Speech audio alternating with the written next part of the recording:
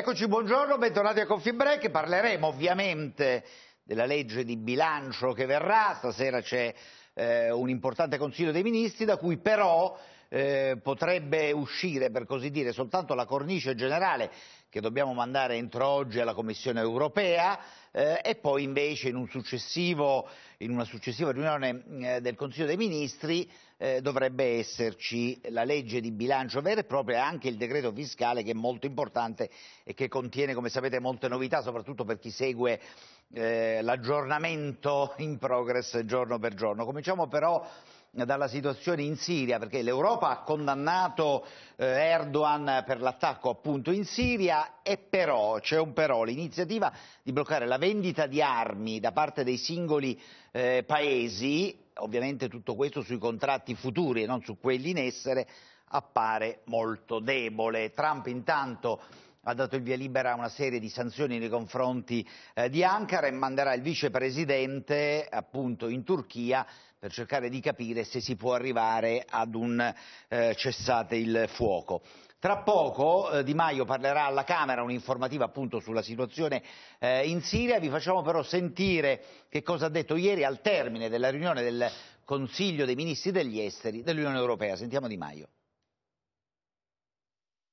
stato un Consiglio degli affari esteri molto importante in cui la posizione e la richiesta dell'Italia era un impegno da parte di tutti gli Stati europei a bloccare nel futuro l'export per gli armamenti verso la Turchia, perché non possiamo accettare quello che sta facendo la Turchia.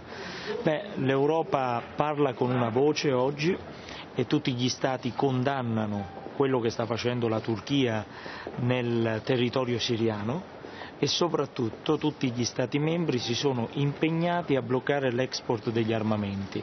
Questo vuol dire che nelle prossime ore anche l'Italia firmerà con un decreto ministeriale che devo firmare come Ministro degli Esteri l'export di armamenti verso la Turchia per tutto quello che riguarda il futuro dei prossimi contratti e dei prossimi impegni. Era importante per noi che tutta l'Europa assumesse la stessa posizione e abbiamo lasciato ai singoli Stati l'impegno di farlo perché questo crea immediatezza, cioè ognuno di noi dopo questo impegno potrà firmare i propri atti che servono a bloccare l'export e ovviamente questo fa sì che non si debba lavorare ad un embargo europeo che poi porta a eh, mesi e mesi di lavoro che poi avrebbero sostanzialmente vanificato l'immediatezza dell'intervento.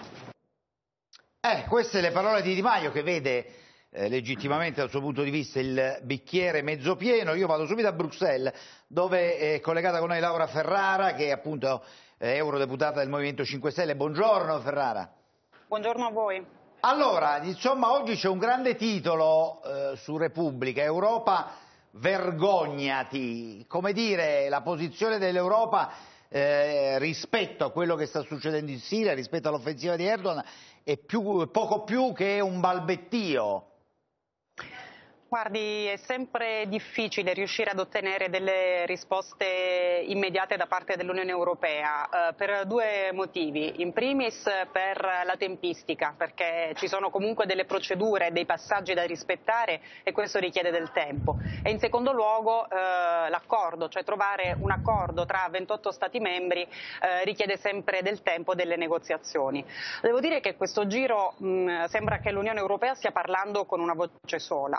Eh, è vero che eh, all'ultimo Consiglio europeo dei ministri degli esteri eh, si è preferito lasciare che ogni singolo Stato membro facesse il proprio eh, decreto ministeriale per mm. eh, imporre lo stop all'export delle armi, però su questo posso testimoniare eh, come appunto ehm, eh, si sia eh, scelta, si sia intrapresa questa decisione proprio per evitare le lungaggini tempistiche che invece una decisione presa in seno all'Unione Europea, in seno magari al Parlamento, con il coinvolgimento di Commissione e Consiglio avrebbe mm. richiesto. Mm. Io ricordo eh, eh, proprio quando si trattò di fare eh, l'accordo con la Turchia per la gestione dei flussi migratori, eh, per il quale peraltro noi ci siamo eh, detti sempre estremamente contrari, eh, che proprio per eh, avere una maggiore eh, velocità tempistica eh, si partì con un accordo internazionale, il cosiddetto International Agreement, però poi di fatto richiedeva delle procedure giuridiche che, ripeto, prevedevano dei tempi lunghi. Da lì si passò allora ad un deal, ad un patto, ma anche lì bisognava rispettare comunque delle, delle procedure, bisognava effettuare delle discussioni e alla fine si concluse con, un, con uno statement, ovvero con una dichiarazione dei singoli Stati membri, una dichiarazione intergovernamentale. Sì. Ora, al netto della forzatura giuridica che si adottò in quel periodo eh, e al netto anche della nostra contrarietà eh, per quanto riguarda eh, proprio la, la, bontà politica di un accordo di questo tipo per la gestione, per l'esternalizzazione dei flussi migratori e lo vediamo poi con le dichiarazioni di Erdogan che ha immediatamente minacciato eh, di far arrivare eh, milioni di migranti qualora non avessimo eh, appoggiato adesso la sua offensiva in Siria, ecco, posso dire che eh, talvolta l'Unione Europea parla con una voce sola, però eh, devono muoversi singolarmente eh, gli eh, Stati sì. membri e i allora, Paesi membri dell'Unione Europea. Chiarissimo, eh, bentornato Roberto Sommella, condirettore di Milano Finanza, grande esperto di questioni europee. Eh, il riferimento dell'onorevole Ferrara eh, utile, istruttivo, eh, diciamo, conteneva, adesso lo diciamo più esplicitamente, il fatto che l'Europa ha dato 6 miliardi di euro alla Turchia per bloccare la rotta balcanica, tanto per capirci. No? Eh, ieri nella riunione a cui facevamo riferimento ai ministri degli esteri, eh, la Germania e i paesi di Visegrad sono stati più prudenti perché sono i più esposti al ricatto diciamo, possibile di Erdogan, di riaprire la rotta balcanica. La tua eh, riflessione qual è? Cioè l'Europa risponde in questo modo, la Turchia è a pieno titolo nell'alleanza atlantica, ma mi pare che anche da quelle parti non si muova nulla, le Nazioni Unite si sono riunite d'emergenza, ma insomma non è venuto fuori niente. Insomma, Erdogan farà il suo lavoro certo. sporco e nulla succederà? Temo proprio di sì, perché se l'Europa, l'Unione Europea anzi ha avuto ieri una voce unica non si è sentita affatto, è stato un pigolio di un pulcino. La voce dell'Unione Europea, e parlo un europeista, quindi non è che possa essere tacciato di sovranismo, se la fa venire soltanto quando si tratta di decimali, di conti sì. e di problemi eh, diciamo, economici, allora lì c'è proprio una sfilza di commissari europei pronti a fare le pulci soprattutto all'Italia quando si tratta di vite umane, di persone, di civili, di bambini uccisi, senza assolutamente che ci sia un motivo, ammesso che un giorno ci possa essere un motivo per questo, l'Europa diventa una semplice espressione geografica. Questa è davvero una cosa sconvolgente, ripeto, soprattutto per tutti coloro che credono invece nella condivisione degli ideali europei. L'Europa è nata dalle ceneri di una guerra, di due guerre, e dovrebbe ricordarsi cosa significa stare sotto le bombe è una vergogna vera e propria, mm. senza se e senza ma. Capisco tutte le giustificazioni del caso, evidentemente è macchinoso mettersi d'accordo, capisco sì, pure macchina... che Italia, Germania e Francia, diciamolo chiaramente, sono anche dei paesi esportatori di armi, sì. quindi bloccare l'export da oggi in poi significa poco perché le armi sono già arrivate. Eh certo. Bisogna, diciamo che Erdogan e il suo esercito ne Bisogna semplicemente bloccare i 6 miliardi che sono stati sì. dati dalla Turchia, quelli vanno bloccati, eh, i soldi. Con tutte le conseguenze del caso. Eh, certo, però se siamo una grande unione ce ne dobbiamo accollare mm. questa responsabilità, se no parliamo e basta. Bentornato al professor Paolo Crepè, a cui chiedo, intanto abbiamo riscoperto improvvisamente la diaspora curda, no? si è molto parlato del popolo curdo, eh, dell'iniziativa militare, eh, di Erdogan, del disimpegno eh, di Trump, perché poi col disimpegno di Trump, eh, diciamo il disimpegno dei militari americani ha dato poi il via libera all'offensiva di Erdogan. Lei che ne pensa? Intanto pensa che questa questione sia una questione sentita, cioè interessi? Io credo che interessi solo il petrolio. Sì. Il resto non gliene importa niente a nessuno non gli importa niente a Trump, non gli importa niente all'Europa, che la culla dell'inciviltà è diventata la culla dell'inciviltà, eh, si, si, figuri lei se interessa a Putin, eh, quindi tutte le, le, persone che sono interessate a questa cosa poi fanno fare il lavoro sporco a, a Ender. Giochetto molto, molto facile, molto prima prendono i soldi, poi minacciano, siamo sotto ricatto, poi non, è, non c'è un'identità europea, se non c'è un'identità europea almeno ci sia un gesto clamoroso da parte di uno Stato, per esempio l'Italia. Per esempio. E che dovrebbe fare dal suo punto di vista? Non fare questo balletto dei contratti futuri perché questo non ci prendono in giro, francamente eh, alzarsi la mattina e essere presi in giro dai nostri ministri, anche no eh, hanno lapidato una, una, una, una, giovane straordinaria combattente per i diritti dell'uomo, dei bambini e delle donne. Eh, l'hanno lapidata dopo averla violentata e noi stiamo qui con le quisquiglie, il contratto, vedremo il futuro, eh, per favore non ci prendete in giro perché questo porta un ulteriore drammatico allontanamento della coscienza civile e della politica. E porta anche vento nelle vele dei sovranisti rispetto all'Europa? Eh, questa... No, no, porta solo vento alle, alle vele del cinismo eh, della politica. Cioè la politica è il luogo del cinismo, eh, proprio di mm, machiavelliana memoria, eh, per cui la ragione di Stato va bene soprattutto quando la ragione di Stato è la ragione del portafoglio. Eh, mi pare parole inequivocabili quelle del professor Crepè. Allora, pubblicità eh, e poi ripartiamo ovviamente se i nostri ospiti non devono aggiungere altro sulla vicenda della Siria, ripartiamo dalla questione delle questioni che è appunto eh, la legge di bilancio, tutti i provvedimenti fiscali, insomma quello che eh, tra poco sarà messo nero su bianco dal governo e che segnerà peraltro i prossimi mesi dal punto di vista poi dell'iter parlamentare e, e, quindi insomma eh, seguiremo tutti i giorni come da sempre facciamo eh, anche questa questione. Ci vediamo tra pochissimo.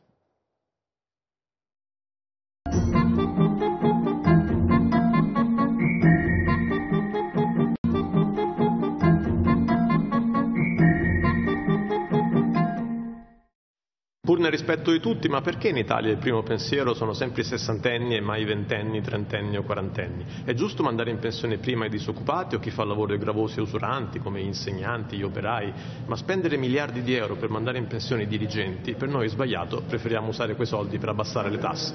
I renziani non, eh, non governano da soli ma governano con una maggioranza, ripeto è una misura sperimentale che eh, secondo il Ministro del Lavoro va mantenuta così com'è fino alla sua naturale scadenza. Per quanto riguarda quota 100 è una delle misure su cui ci stiamo lavorando eccetera e ci continueremo a lavorare. Se riusciremo, come confido già in queste ore, mi aggiorneranno continuamente, a risolvere qualche, qualche, piccolo dettaglio potremo andare questa sera in Consiglio dei Ministri, altrimenti sapete il termine è domani. La maggioranza è compatta perché eh, ieri c'era un ottimo clima di lavoro, quindi abbiamo lavorato confrontandoci e assolutamente non c'è nessun conflitto. Ho detto che i renziani vorrebbero abolirla e tornare alla legge Fornero.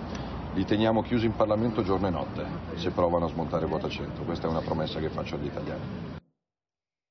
Allora, Salvini annuncia ostaggi, diciamola così, mettiamola così per eh, cercare un sorriso, eh, Conte rassicura, maggioranza compatta e invece, come sapete, come sappiamo, su quota 100 in particolare, ma non soltanto su quota 100, ci sono eh, differenze importanti, in questo caso tra eh, i renziani di Italia Viva e il Movimento 5 Stelle. Peraltro poco fa si è saputo Mm, che alle 11 di questa mattina ci sarà il vertice di maggioranza a Palazzo Chigi per fare il punto sul documento, così si chiama, programmatico di bilancio eh, che sarà varato questa sera dal Consiglio dei Ministri e poi immediatamente inviato a eh, Bruxelles. Allora riparto da Roberto Sommella c'è questo problema, questo scoglio di quota 100, adesso si pensa a una clausola di salvaguardia, insomma eh, è ancora molto una... complicata la situazione.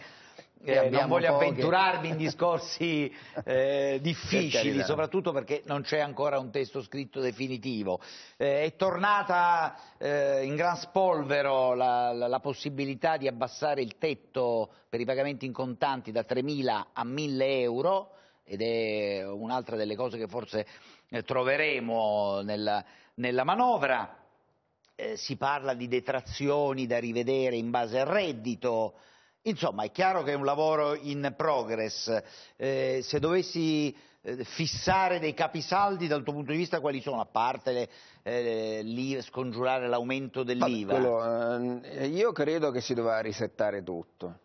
Io l'ho scritto qualche tempo fa proprio su, su Milano Finanza. Io credo che eh, un'operazione di verità sarebbe stata da questo governo nato un po' per caso che ha trovato per terra il biglietto della lotteria sì. e non l'aveva nemmeno comprato questo biglietto, era di eliminare le due misure che alla fine non hanno avuto nemmeno un grande successo e sono il reddito di cittadinanza per evidenti motivi fiscali, perché poi lo Stato prima di dare un reddito di cittadinanza a una persona che si dichiara di fatto nulla tenente fa miliardi di controlli, deve avere il motorino 125, se ce l'hai 250 non ce l'hai, tanto per fare un esempio, mm. e sulle pensioni.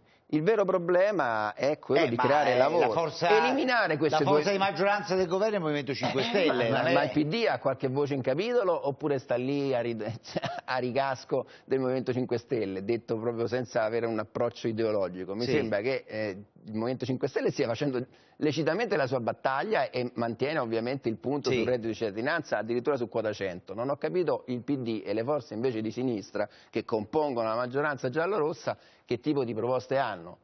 Noi mm. abbiamo tre problemi e sono sempre gli stessi. Un elevatissimo debito pubblico e non si incide per nulla, anzi il debito aumenta, quindi non si taglia sì. e non si fanno privatizzazioni. Un'elevatissima evasione fiscale che non viene incisa con queste misure perché sono misure che aggravano, che tassano il PIL, mentre invece oggi abbiamo una notizia su MF Milano Finanza che ci sono ben 142 miliardi di euro in paradisi offshore italiani che si possono recuperare e verranno tassati se non saranno individuati le persone fisiche che sono eh, detentrici di questi paradisi sì. fiscali, perché si sa dov'è l'evaso bisogna andare a avere la forza politica di andare a cacciare Cioè, come dire, persone. qui invece rischiano i soliti noti al Ma fisco. i soliti noti, perché i 7, mi i 7 miliardi di euro si è scoperto che poi alla fine non sono soldi recuperati, sono soldi che si devono recuperare. Noi sappiamo, siamo italiani, quindi sappiamo come funziona, che quando si devono recuperare dei soldi si tende a tassare, non a recuperare dall'oggi al domani 7 miliardi. E il terzo problema è il lavoro. Finché evidentemente non si eh, dà un incentivo fortissimo alle aziende ad assumere e questo incentivo non può che nascere da una brusca forte riduzione fiscale sulle aziende che pagano ormai il 60% sì. tra burocrazia e fisco di tasse, questo Paese non riprenderà mai. Questi tre temi sulla manovra, nella manovra non ci sono, non c'erano manco nelle ultime manovre, quindi non è che è proprio una colpa specifica di questo governo, sì. tutto il resto è così. Allora, eh, facciamo entrare intanto il senatore Luca Ciriani che è il capogruppo di Fratelli d'Italia, eccolo, eh, eccolo qui, benvenuto, Grazie. Eh, è vittima del traffico di Roma. Eh, vado però subito, torno da Laura Ferrara, eh, insomma ha sentito Sommella, forse bisognava prendere di petto la questione, cioè visto che reddito di cittadinanza e quota 100 non hanno avuto gli effetti previsti che si speravano, tanto che in entrambe le misure ci sono dei risparmi consistenti, consistenti non perché non rimettere tutto in discussione? No, ma non sono così convinta che il reddito di cittadinanza e quota 100 non abbiano avuto uh, gli effetti che si sperava, a parte che eh, è necessario comunque un lasso di tempo maggiore per capire eh, gli effetti che possono dispiegare queste due misure, perché eh, comunque eh, si sa che eh, sono entrate in vigore pochi mesi fa, per cui ancora bisogna vedere nel tempo che tipo di di risultati hanno, ma comunque eh, sono delle misure estremamente eh, positive che sono state accolte in maniera estremamente positiva da tantissimi cittadini, sono delle battaglie eh, identitarie del Movimento 5 Stelle, per cui sia da un punto di vista politico sia da un punto di vista economico siamo convinti che si debba proseguire su questa strada e, quindi, ehm, e che debbano essere quindi due misure assolutamente da, da, mantenere e da non mettere in discussione. Su questo eh, devo dire che ad esempio sul reddito di cittadinanza anche il PD che inizialmente era stato molto, molto critico eh, si è ricreduto eh, e ha riconosciuto comunque eh, la bontà eh, della misura al netto comunque di eh, una serie di, di, di, di ehm, dire, modifiche che vanno fatte di migliorie che vanno fatte. Ecco, siamo consapevoli che eh, non è la perfezione, che eh, ci sono comunque degli accorgimenti che vanno eh, effettuati soprattutto per eh, limitare al massimo mm. le frodi, però abbiamo eh, visto come i controlli sì, senz'altro eh, c'è eh, da migliorare, ma abbiamo visto comunque come già da ora Senta, i controlli posso chiedere una cosa, Posso chiedere una cosa che, insomma, sì. che diciamo è di, di dominio pubblico, no? Eh, cioè lei dice anche il Partito Democratico che inizialmente era contrario ha dato il suo avallo. In verità eh, quello che si dice è che la misura può essere molto importante eh, per eh, tutta quella fascia crescente ai noi eh, di famiglie e persone bisognose sotto la soglia di povertà o ai limiti della soglia di povertà, ma dal punto di vista del lavoro, delle politiche attive, mi pare che a tutt'oggi il reddito di cittadinanza non abbia prodotto un solo posto di lavoro, cioè forse si potrebbe ridiscutere quella parte del reddito di cittadinanza o no? Ora che non abbia prodotto neanche un posto di lavoro, insomma, le chiedo di portarmi questi dati, insomma, di citarmi le fonti perché mm, credo insomma, eh, che non coincida proprio perfettamente con la realtà. È chiaro che anche questo, ecco, con estrema schiettezza, rientra nelle, nelle eh, migliorie da, da, effettuare. Sicuramente per quanto riguarda le politiche attive, il funzionamento dei navigator e quindi eh, eh tutto ciò che riguarda poi eh, il trovare effettivamente un lavoro sono quei passaggi che vanno migliorati migliorati, però ripeto, stiamo parlando di una misura che è entrata in vigore pochi mesi fa, eh, sì. con uno stravolgimento dei centri per l'impiego, con eh, diciamo, un cambiamento di tutto ciò che riguarda il funzionamento ecco, procedurale anche eh, di, di, questi centri e, quindi diamo tempo al tempo e eh, facciamo in modo che Lei eh, dice, questa sì. misura entri in vigore ed esplichi i propri effetti in maniera Lei dice effettiva. aspettiamo che la misura insomma, dispieghi i suoi effetti. Eh, arrivo subito da voi, intanto ci colleghiamo con la Camera, da pochissimo cominciato il suo intervento il Ministro degli Esteri Di Maio, sentiamolo. In favore poi di un successivo riassestamento locale della minaccia terroristica. Gli scenari iracheno, afgano e libico ne sono la palese testimonianza. Ad ogni modo la gravità di quanto sta accadendo, anche alla luce delle possibili conseguenze su cui mi soffermerò più avanti, ha imposto l'esigenza di rappresentare al governo turco in modo fermo e con la massima chiarezza la nostra contrarietà a questa operazione. Allora risposto... adesso riprenderemo, poi mh, vi daremo conto anche insomma, delle cose che sta dicendo il ministro Di Maio a proposito della crisi siriana. Eh, allora, eh, voglio chiedere al professor Crepè, eh, molto rapidamente, adesso vi facciamo sentire una testimonianza, lei cosa pensa di quota 100? Cioè in un paese che invecchia sempre di più, ha una eh, ragion d'essere quota 100 dal suo punto di vista o no? Ma la politica ha bisogno di una visione, se lavoriamo giorno per giorno non andiamo da nessuna parte, quindi è chiaro che dipende come, che cosa vogliamo raggiungere da qui a 5 anni, a 10 anni. Se vogliamo avere un paese con un terzo che lavora e due terzi che non fanno niente, eh, bisogna vedere se poi eh, la, la, struttura economica regge. Eh, perché se noi mettiamo sul divano i giovani e mettiamo dei giovani eh, sessantenni eh, a, a, pescare il, le trote in montagna, eh, non so se ce lo possiamo permettere da una parte e dall'altra parte secondo me non ce lo possiamo eticamente permettere, non solo economicamente, perché è un, è un danno incalcolabile che la, i giovani talenti siano pagati per non fare niente. E così come è un danno incalcolabile che una persona di grande esperienza dentro un'azienda debba andare a casa per poi magari tornare a fare il consulente dopo domani all'azienda medesima. Sì. Ecco, queste sono cose. Poi, qualsiasi cosa il governo fa e parla di reddito, e bisogna stare attenti in Italia a parlare di reddito, perché ci sono delle categorie eh, che pagano poche tasse. Eh, e allora come fai a dire, eh, a dire reddito? Cioè mm. chi paga totalmente le tasse è chiaro che va su, chi non le paga è chiaro che rimane giù. E perché io devo aiutare no, una categoria che so che evade? Lo so per certo, basterebbe andare con commercio, andare in giro e vedere chi evade di più. Io non metto in, sotto accusa nessuno, però so che eh, quando mia figlia era all'università io ho dovuto pagare il 100 e eh, forse 20% delle tasse, perché io, io, io sono totalmente fatturato.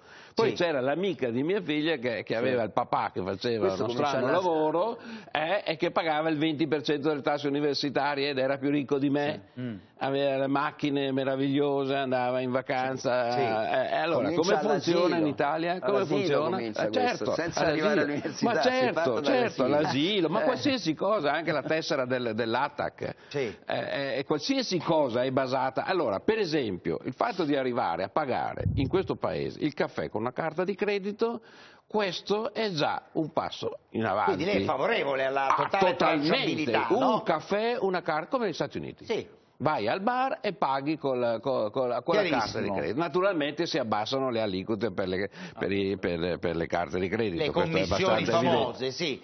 Eh, allora vado dal senatore Ciriani. Eh, senatore, le faccio vedere, vi faccio vedere la testimonianza di chi è riuscito a usufruire di quota 100. Eh? Sentiamola.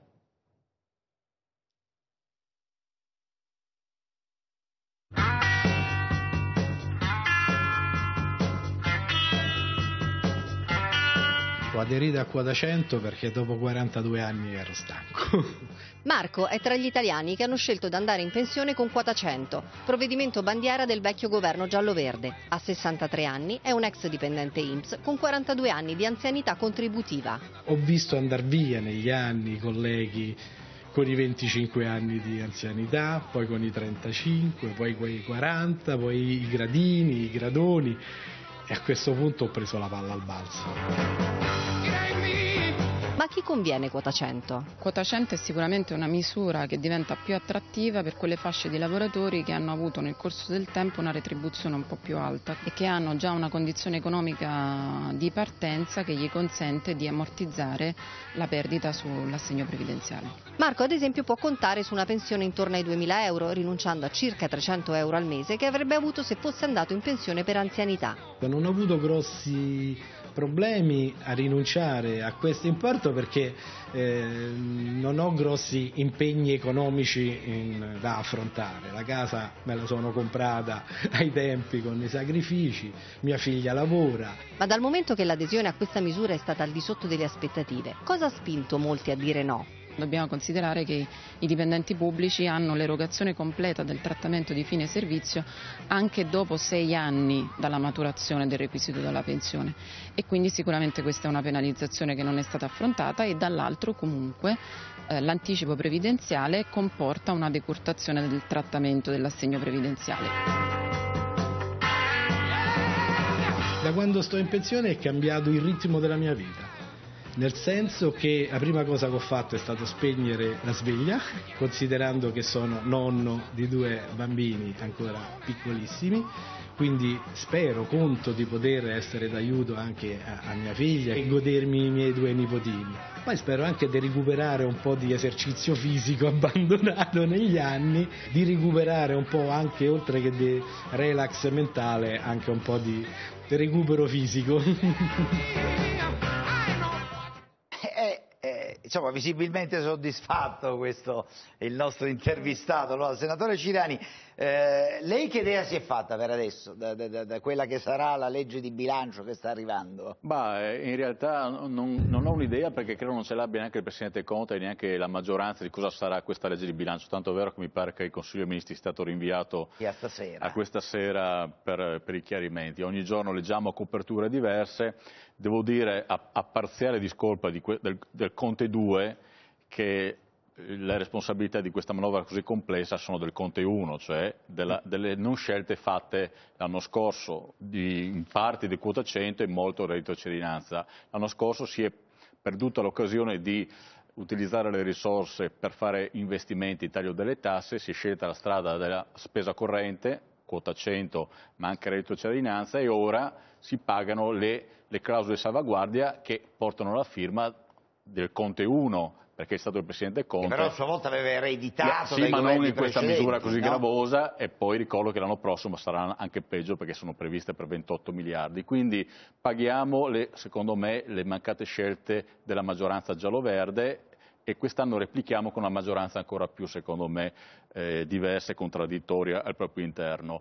E noi vediamo coperture farlocche, lotta all'evasione fiscale quotata a 7 miliardi e 2, non so da dove eh, riusciranno a prendere queste risorse, vediamo che eh, la separazione tra le spese di investimento e la spesa corrente, che vi ricordo anche il Presidente Mattarella recentemente aveva dire, sottolineato fosse una scelta ragionevole da chiedere all'Europa, non se ne ha più traccia, per cui alla fine anche l'aiuto dell'Unione Europea a questa manovra mm, non si sa dove cioè sia. questa maggior flessibilità si, che Sì, ma è molto risicata. Alla fine è una manovra che secondo me avrà un'incidenza quasi nulla sulla crescita di questo Paese. Sì, Il problema è che questo è un Paese che non cresce, non è cresciuto l'anno scorso e non crescerà l'anno prossimo.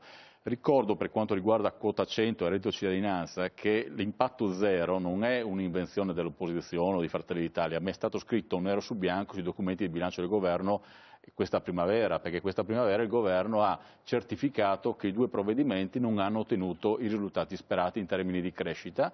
E per quanto riguarda quota 100, che è un provvedimento che io in parte difendo perché aveva una natura tra virgolette etica dopo quello che era successo sì. con la Fornero, quello che è vero e onesto dire è che la sostituzione dei posti di lavoro non c'è stata, si parlava addirittura di uno che usciva, due o tre che entravano, ma questo non è avvenuto perché quota 100 nelle industrie, io vengo dal nord-est, è stata utilizzata sì. come una specie di ammortizzatore sociale, sì. diciamo così, facevano in 9 quello che prima facevano in 10. Sì e, e, poi quota 100 che doveva aiutare diciamo soprattutto... che può avere una ripercussione maggiore sul pubblico quota esatto, 100 quindi, più e quindi sul privato. In, sì. parte, eh, una manovra che io difendo, ma in parte quota 100 doveva servire per i lavoratori usuranti, coloro che dopo 40 anni in cantiere decidevano beh è giunta l'ora che a 60 anni possa smettere sì. di stare in cantiere. Invece abbiamo visto che la, la parte del leone l'hanno fatto i dipendenti pubblici, che con tutto rispetto non è ancora un lavoro usurante come andare in fonderia o andare ogni mattina in fabbrica. Allora, è tardissimo, dopo la pubblicità tassativa devo, devo, sentire poi la replica di Laura Ferrara, devo risentire sia Sommella che Crepè, poi vi do un dato dell'Istat che è appena arrivato e che è molto importante a proposito dei discorsi che stiamo facendo. A tra poco.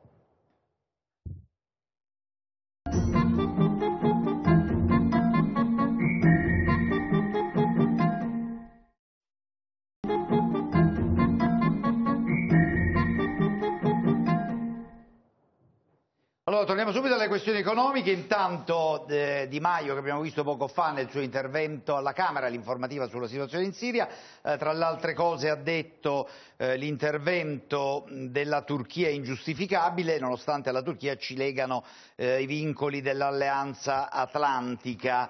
Eh, poi ha detto ancora Di Maio, siamo grati ai curdi siriani per la lotta che hanno fatto eh, all'ISIS e poi ha detto una cosa importante a proposito delle iniziative in questo caso unilaterali dell'Italia, no? lo stop alla fornitura delle armi, eh, ha detto Di Maio, oltre alla sospensione delle esportazioni future di armi alla Turchia, che avverrà per decreto, quindi decreto che sarà firmato proprio dal ministro eh, Di Maio, l'Italia avvierà anche un'istruttoria dei contratti in essere con Ankara. Eh. Ascoltato ci ha ascoltato Di Maio, sarà una cosa complicatissima ovviamente, però l'ha eh, annunciato in Parlamento. Eh, torno da um, Laura Ferrara per una replica dando due notizie dell'Istat. Allora, la prima, nel 2017 l'economia non osservata vale circa 211 miliardi di euro, eh, cioè oltre il 12% del PIL.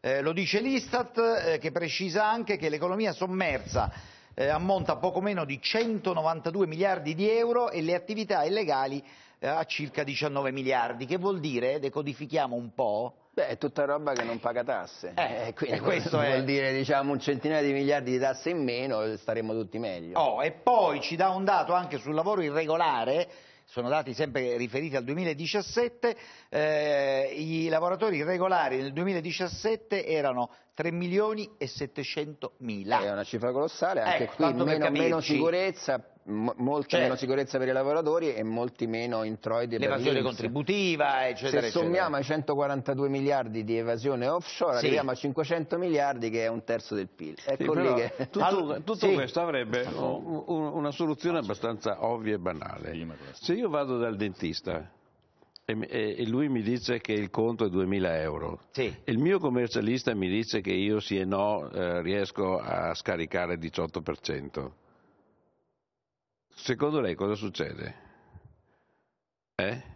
Che mi metto Succede quello che tutti i giorni avviene in Italia spesso. Allora, io voglio poter no, senza criminalizzare i dentisti no, in generale, eh, ovviamente. Psichiatri, no, lo dico subito. No, ma lo faccio per un discorso, sì, perché, perché, il sì. dentista è una cosa a cui si, ci si rivolge con una certa frequenza. Sempre no? meno, molti italiani, no, ma sempre meno italiani Ma non è colpa dei dentisti, no, è colpa certo. dello Stato che i dentisti non c'entrano assolutamente niente, ci mancherebbe altro, poveracci. Eh, io sto dicendo che tutte quelle categorie, ma anche, ma anche chi vende una camicia, se io mi compro una camicia, ma perché non la devo scaricare? Eh, ma Eh, perché non la devo scaricare? discorso. Un paio di calzini, perché non li devo scaricare? Eh, fai una cosa semplice, il 50% di tutto quello che acquisti lo scarichi.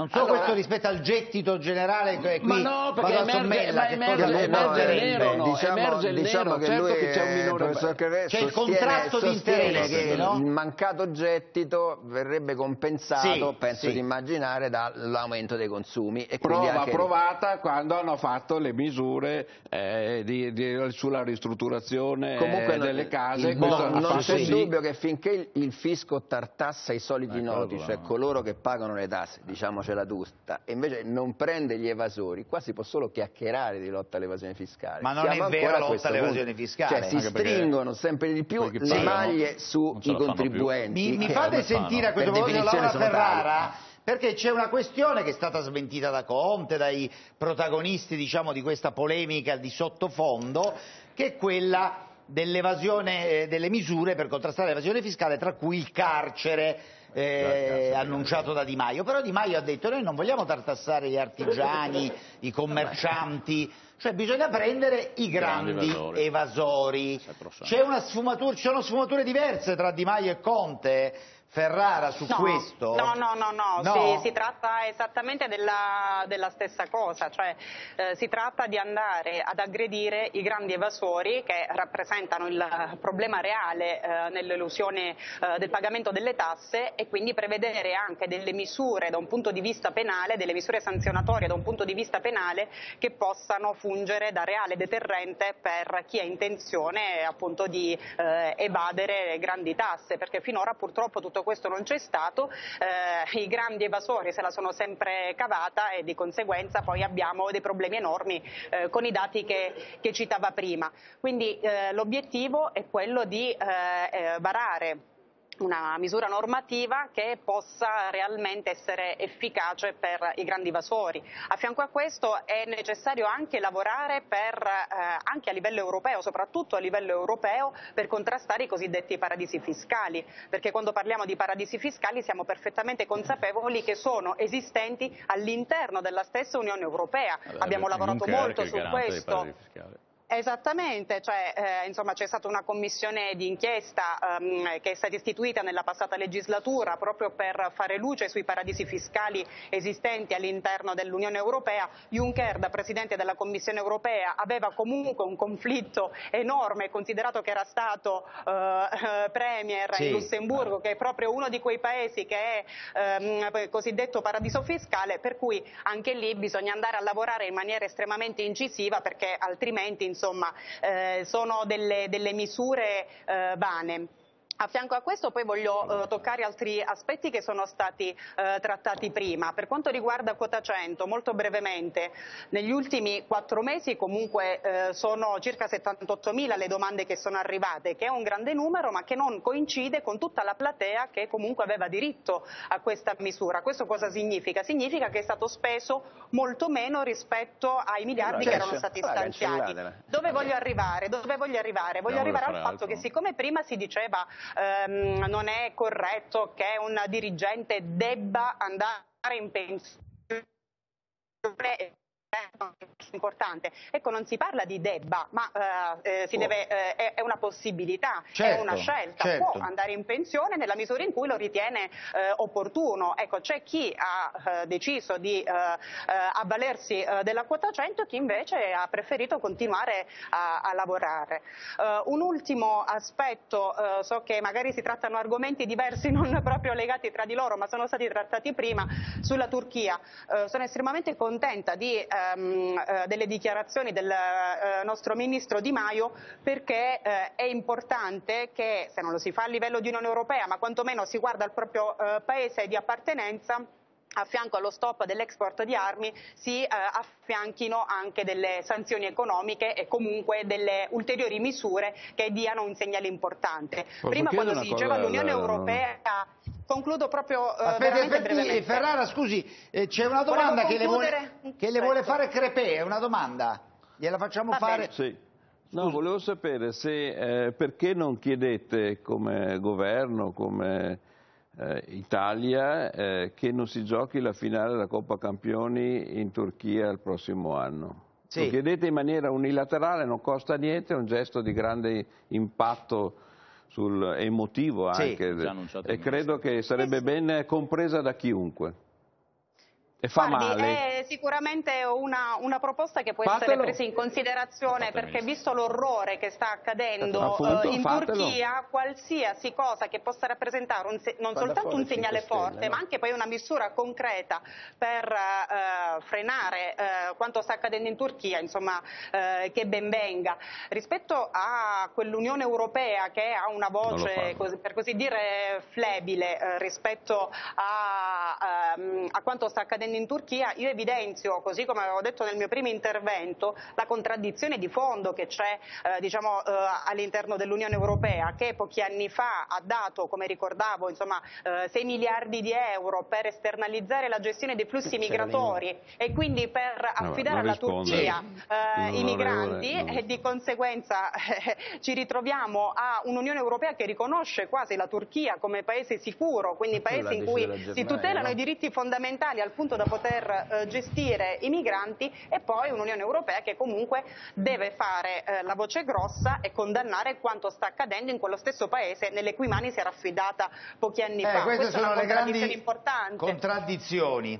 Allora, facciamo così, arrivo, torno da lei, senatore Gianni, eh, però prima devo eh, salutare Paolo Sottocorona. Buongiorno. Eh, peraltro dopo Paolo Sottocorona veniamo a un altro tema di cui si discute molto a proposito di politica e di scenari, diceva Crepè, di visioni per la famiglia che stiamo facendo e stiamo facendo qualcosa, poi ne parliamo. Buongiorno Paolo. Buongiorno, buongiorno, ecco qua. Piano piano sono entrate queste nuvole da ovest, sono entrati i temporali, già ci sono delle zone come la Liguria di Ponente con qualche, con qualche disagio.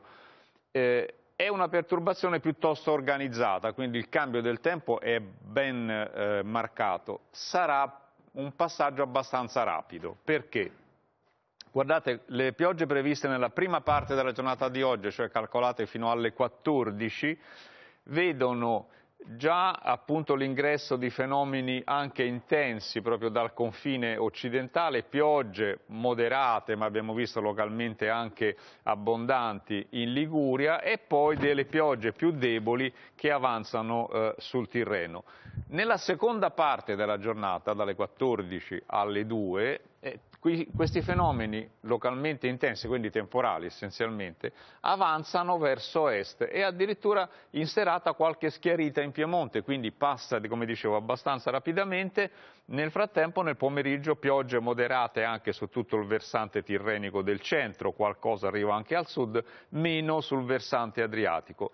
Eh, quindi già questo spostamento nelle 12 ore è abbastanza evidente. Ancora più evidente eh, questo spostamento nella giornata di domani, nella quale complessivamente le piogge restano sul nord-est e deboli sul basso Tirreno, quindi la parte più intensa sicuramente sarà passata. Giovedì si riaffaccia qualcosa molto meno, eh, molto meno forte, molto meno intenso, qualche pioggia debole, vedete sul nord-ovest, la Liguria, un po' sul nord-est e se no ci sono un po' di nuvole. Eh, questo primo passaggio, qualche calo nelle temperature lo, eh, lo comporterà, ma anche questo non dovrebbe durare molto.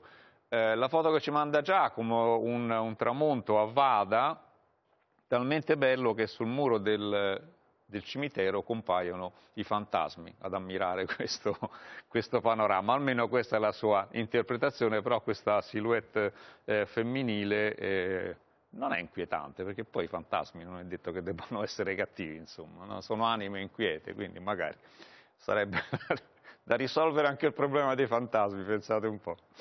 Grazie al nostro meteo, meteosofo, meteorologo filosofo, Paolo Sottocorona. Eh, qualche minuto di pubblicità e torniamo eh, parlando anche di misure se e quali per la famiglia. Tra poco.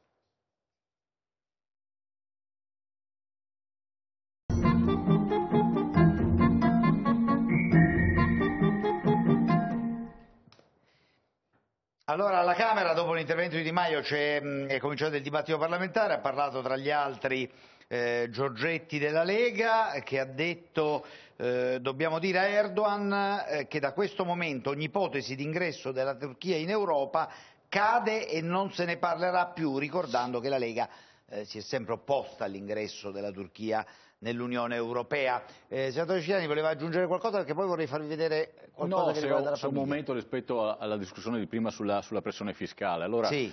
È vero che c'è evasione, ma bisogna anche considerare che per tanti piccolissimi artigiani e commercianti l'alternativa a un'evasione difensiva è chiudere l'attività eh, l'evasione si combatterà nel giorno in cui la pressione fiscale sarà dire, accettabile. Se la pressione fiscale ti mangia sette mesi di lavoro all'anno è chiaro che qualcuno non ce la fa, non può lavorare per lo Stato soltanto. E vorrei ricordare anche rispetto a quanto diceva la collega dei 5 Stelle, una parte del ragionamento io lo condivido sulla grande evasione. C'è il tema dell'evasione eh, dei, dei, grandi giganti del web. Sì. Il governo è già 5-6 anni che annuncia i decreti attuativi per la lotta alla grande evasione, ma qui abbiamo giganti come Google, Google, Amazon, Facebook, Netflix, che non pagano un euro di tassa in Italia ed è uno scandalo. Allora, che la Guardia di Finanza insegua il barbiere perché non ha fatto la ricevuta e invece consente ai giganti del web sì. di non pagare le tasse in Italia. Però quella è una, decisione che va presa a livello europeo. Eh, cioè no, la, però la, Francia, no, la Francia ha già incominciato. Sì, il, no, ministro, certo. il, ministro, Gualtieri ha annunciato anche lui che ci sarà qualcosa, sì. aspettiamo che qualcosa arrivi, perché non possiamo stare sotto schiaffo delle decisioni internazionali. È chiaro che questi giganti hanno una capacità politica di pressione lobbistica, eh, come dire, potentissima, sì, però uno Stato sovrano deve anche decidere cosa vuol fare. Non possiamo dire, costringere il barbiere e il barista a chiudere per consentire invece ad Amazon di aprire in ogni eh, parte d'Italia. Questo, tutto questo mi no, allora, un'altra puntata. No, bisogna decidere da che parte vuole stare il governo, se vuole stare dalla parte del commerciante, dell'artigiano, del piccolo imprenditore sì. o dalla parte del certo, grande. La prima cosa da fare è l'unione fiscale, perché noi viviamo in uno eh, spazio sì. comune europeo in cui in Ungheria eh si paga il 9% di tasse e in Germania il 33%. Questo secondo me è l'aspetto In mezzo c'è una tassazione che Questo noi abbiamo definito cruciale. canaglia che sì. permette lecitamente ai grandi sì. player della, della, rete, a Però Google, Facebook di andare a pagare il 12,5 in non Irlanda. Noi possiamo far pagare il massimo a Google, Facebook e company eh, in Italia le tasse, ma quelli vanno a pagarle poi in un altro posto. Eh beh, perché, perché Quindi finché l'Europa non decide che le tasse sono uguali, soprattutto eh, nell'Eurozona, fiscale, certo. perché nell'Eurozona ci sono paesi che hanno la moneta unica, che sono dei paradisi fiscali leciti. Lussemburgo, Irlanda, si parla poco dell'Austria. strumento normativo fiscale si possa trovare per, per, far pagare qualcosa, se c'è la volontà si Diciamo, arriva. su quello bisognerebbe lavorare. Allora, eh, si parla, per quanto riguarda le politiche di sostegno alle famiglie, eh, di un fondo unico eh, da 2 miliardi, una dotazione di circa 2 miliardi di euro. Eh, in realtà eh, anche il Forum delle Famiglie ha fatto sapere che le risorse aggiuntive sono di, 500, di appena 500 milioni, eh, poi Del Rio ha anche annunciato che eh, non, non, nel 2020 ma nel 2021 eh, si parlerà in maniera più concreta dell'assegno universale per i figli. Vi facciamo vedere una sequenza per riflettere, per tenere allenata la nostra memoria di spot eh, elettorali e interventi in tribune politiche a proposito della famiglia. Vediamo. Oh, honey, picture me upon your knee. E se poi noi pensiamo che il lavoro della donna ha aperto all'interno della famiglia italiana dei drammatici problemi, quali l'assistenza dei figli, quali l'assetto della vita domestica, quali rapporti umani di, di, tipo diverso che sono venuti avanzando, ci si rende conto che sulle spalle delle donne ha pesato in questi anni veramente un peso qualche volta insopportabile.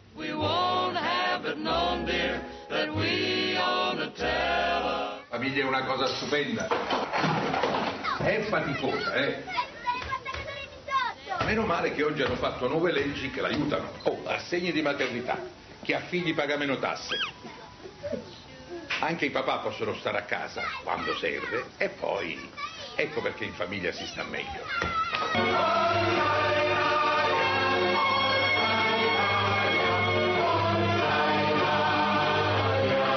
Fai vincere le cose che contano.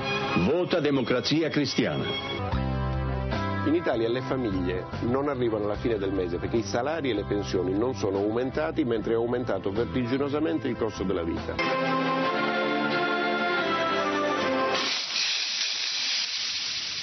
Vogliono disgregare l'Italia, il tuo mondo, le tue speranze. Insieme lo impediremo. Fai vincere il tuo futuro vorrei fare un appello a tutte le famiglie italiane, sia quelle di destra che a quelle di sinistra. Fermo restando che ognuno è libero di votare per chi vuole, ogni famiglia dovrebbe destinare un componente della famiglia il, a votare per la lista pannello. Il nostro punto di riferimento sarà uno solo. La famiglia innanzitutto, la famiglia prima di tutto. Mario, è una vita che non andiamo a cena fuori. Paola, lo sai che non ce lo possiamo permettere. Ai tempi della destra i ricchi erano più ricchi, i poveri più poveri e anche la famiglia Spera non se la passava tanto bene. I DS e l'Ulivo hanno progetti chiari per risolvere i problemi delle famiglie e distribuire meglio la ricchezza del paese. Nel Parlamento europeo Forza Italia si batterà per dare maggiore dignità maggiore considerazione a tutte le donne, a chi si sacrifica ogni giorno, con generosità, con dedizione, nella cura dei figli e della famiglia.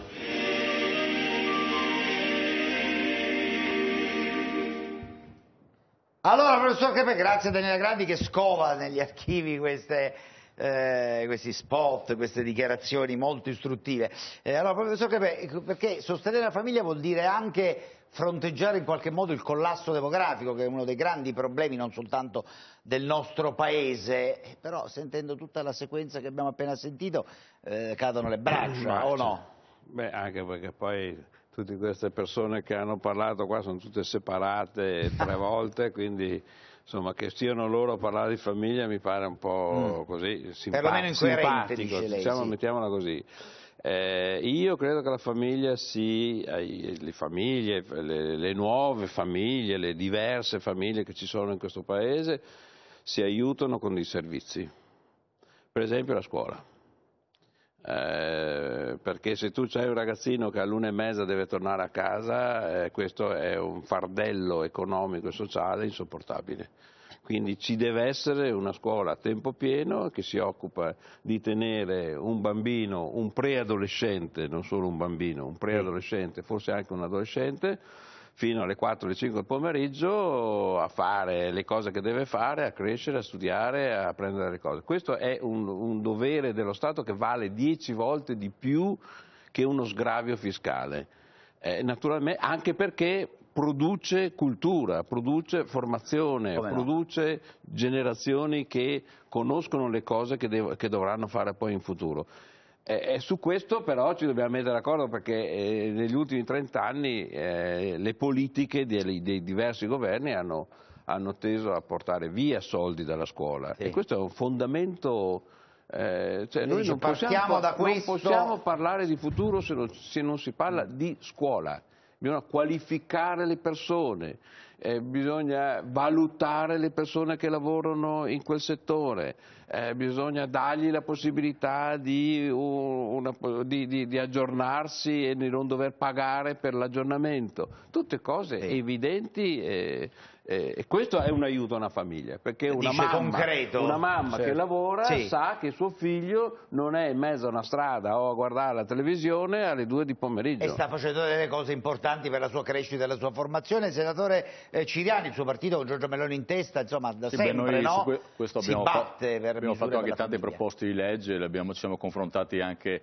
nella scorsa finanziaria. Adesso ho letto che il governo voleva introdurre l'assegno unico che Sì. poi invece è sfumato, spero che almeno... O è rimandato, vedremo. Cioè, sì, rimandato, speriamo che almeno gli asili nido gratuiti possano diventare realtà perché questo sarebbe un grande aiuto alle E famiglie. bisognerebbe anche costruirli gli Eh, asili. costruire oltre che- sicuramente prima di gar- per poterli Sì. garantire.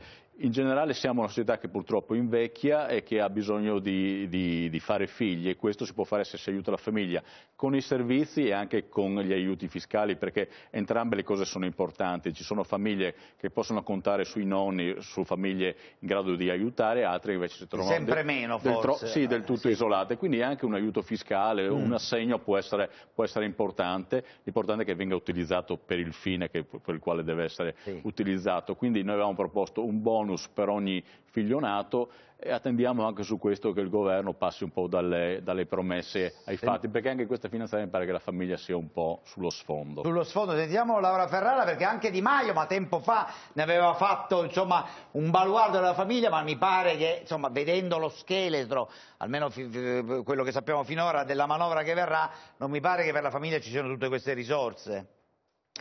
Guardi, eh, è chiaro che si potrebbe sempre fare di più, però certo. poi, come si suol dire, la coperta è corta, quindi bisogna eh, fare i conti con, con la realtà. C'è comunque un'attenzione importante nei confronti della famiglia e eh, ci sono una serie di, di misure eh, che sono state varate unitamente quindi ad un gettito maggiore di 500 milioni di euro, quindi che arrivano poi a un totale di 2 miliardi e 300 milioni di euro per avere eh, voucher per gli asili nido, il bonus bebè e eh, il bonus nascita. A questo poi ehm, si aggiungono eh, tutte quelle misure che saranno contenute nella legge delega per la famiglia che ehm, sono eh, quali ad esempio il prolungamento del congedo anche per eh, il papà eh, Sì. in modo tale da poterlo equiparare eh, diciamo, a quello della mamma, quindi una serie di misure che permettono eh, di eh, come dire, avere la gioia ecco, di poter mettere su famiglia, cosa che è diventato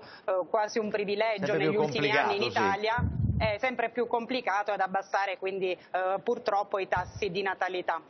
Se- chiudo con Sommella perché poi mi pare che anche alla fine della nostra discussione eh, il vero problema qual è? Che bisogna trovare i soldi per i pensionati, i soldi per la famiglia, i soldi per scongiurare l'IVA, i soldi per sostenere le aziende e i soldi per il reddito di cittadinanza, per quota 100 e cioè non c'è una scelta forte di fondo. Beh, perché lo Stato non, non- non agisce come una famiglia, ma invece dovrebbe, perché i problemi del governo sono i problemi di una famiglia. Io sono d'accordissimo, bisogna aumentare le spese in istruzione, perché come accade in Francia i libri non li compra lo Stato per il liceo? Qualcuno Sì. lo sa che i libri in Francia, non su Marte, vengono dati gratuitamente alle famiglie del liceo. Aumentare sicuramente i sussidi per tutti i giovani italiani che sono andati all'estero. È uno scandalo mondiale, 180.000 italiani sono all'estero, sempre più giovani, farli rientrare, sussidiare le famiglie e non dimenticarci, voglio aggiungere un aspetto che non abbiamo toccato che è importantissimo, il rischio idrogeologico, parliamo adesso degli anniversari tragici del terremoto, noi siamo uno dei paesi meno assicurati al mondo contro Sì. i danni da rischio idrogeologico, anche per questo il mio giornale, mi permetto di ricordarlo, giovedì lancia una grande campagna a Milano che è il Festival delle Assicurazioni, prevenire prima di curare, dobbiamo coprirci da tutti i rischi perché il nostro paese è meraviglioso ma ce ne accorgiamo semplicemente molto fragile, quando sì. ci sono le tragedie. Buongiorno Mirta! Buongiorno caro Andrea, allora noi ci occupiamo naturalmente della manovra, siamo collegati con Palazzo Chigi dove sta per cominciare il vertice Vertice. con Conte, abbiamo tra l'altro un overbooking di mini- ex ministri dell'economia stamattina perché abbiamo Pomicino che sono ministro del bilancio, Paduan ministro dell'economia e poi abbiamo Tremonti e poi arriva anche Giuliano Amato per un'intervista molto speciale, quindi rimanete con noi. Allora, economia in primissimo piano, mettiamola così oggi, ovviamente da diversi punti di vista nell'area che tira.